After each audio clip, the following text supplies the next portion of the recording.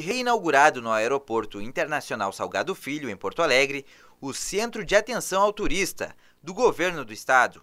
O CAT tem o objetivo de auxiliar e oferecer atendimento aos turistas que vêm de todas as partes do globo para a Copa do Mundo.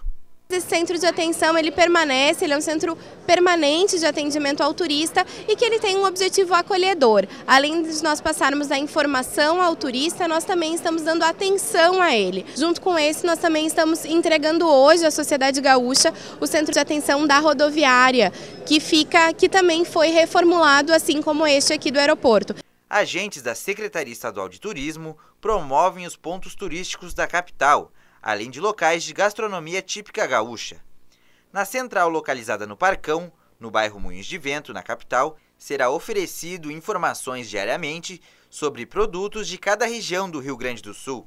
Faz com que as regiões turísticas do Rio Grande do Sul venham até aqui apresentar os seus produtos, os seus atrativos. Hoje, a região Uva e Vinho está aqui, divulgando Garibaldi, Bento Gonçalves e Veranópolis. A central da rodoviária de Porto Alegre é a que registra até o momento a maior movimentação de visitantes e estrangeiros. Tuvimos a atención del turista para saber dónde tomar el bus, eh, para, para descubrir el centro de, de la ciudad.